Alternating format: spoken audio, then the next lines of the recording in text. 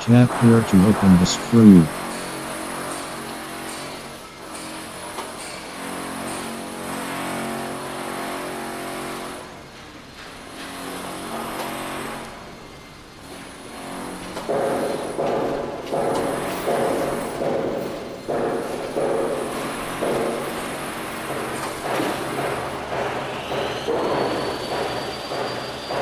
Hold the trigger and remove the upper shell.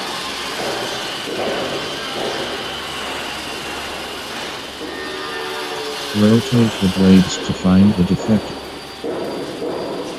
Hold the blade and close it aside.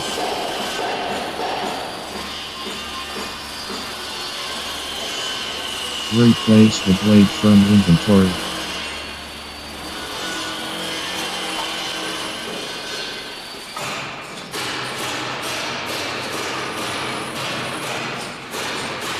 Hold the trigger and fix the upper shell. Tap here to tighten the screw.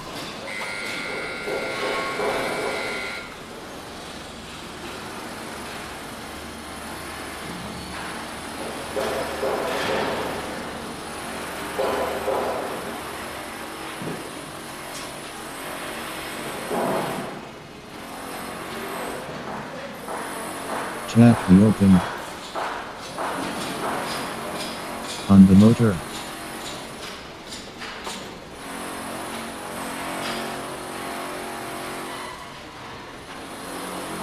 Motor diagnosed successfully.